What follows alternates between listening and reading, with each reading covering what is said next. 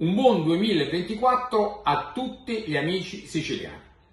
Non solo quindi all'associazione e alla capacità di azione che c'è in provincia di Messina, ma un'isola preziosa al centro del Mediterraneo che possa diventare sempre più un'isola legata alle energie rinnovabili, all'innovazione, alla tutela del territorio e poi ovviamente che il 2024 sia un anno di ancora più forte azione per la tutela della macchia mediterranea e delle fasce costiere di tutto il nostro bellissimo mare comune.